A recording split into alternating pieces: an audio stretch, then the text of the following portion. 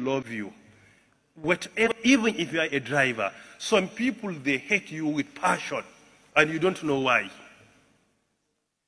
And there is not in any way, there is not even competition amongst you. You are not in the same department. You are not teaching the same course, but they hate you. And even you yourself, you don't even know the reason why they hate you. They envy you. You don't even know what is the actual reason. Because today some people are more interested in hating you than even justifying the reason why they hate you. They just, they don't like you. If you ask them any reason, no reason. Even a flimsy excuse will not be given to you. But they hate you. They envy you. They attack you. They insult you. And they can go to any extent to destroy you. Even in that regard in Islam. For you to reach the peak of ihsan, you have to retaliate with good actions. They attack you, you try to do good to them. That is how Islam is. Isa alayhi salam went to his people preaching to them, and they were busy castigating him. He said to them, Kafar Allahu amwalakum, may Allah Ta'ala protect your wealth. And they say, La La'anakallah, may Allah curse you. And he was praying for them, Zadakumullahu imanan, may Allah increase your faith. They were saying, La'anakallah.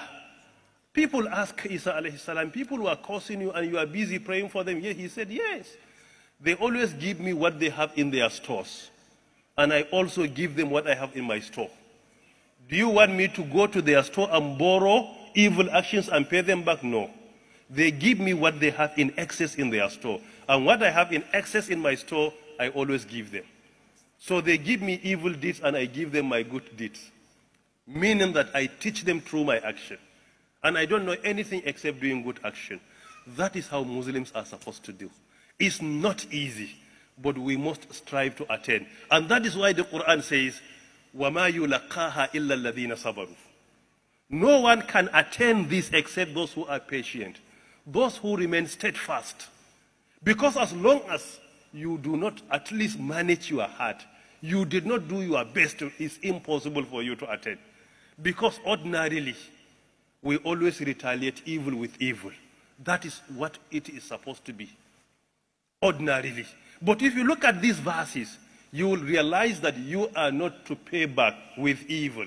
If somebody gives you what he has in his store, and what he has in his store is hypocrisy, conspiracy, character assassination, envy, what you have in your store is nothing but good. So bring something out of your store and give him. That is how we are supposed to do. And this is only what can change your enemy to be your bosom friend, to be your noble friend indeed. That is why Allah says, فَإِذَا الَّذِي بَيْنَكَ وَبَيْنَهُ أَدَاوَةٌ كَأَنَّهُ وَلِيٌّ حَمِيمٌ That will completely change your enemy to be your bosom friend. Because one person cannot fight. If he does something to you today, he repeats it tomorrow, after tomorrow, and you always try to retaliate by doing something that is good to him, for sure he can't continue. At least he can remain neutral.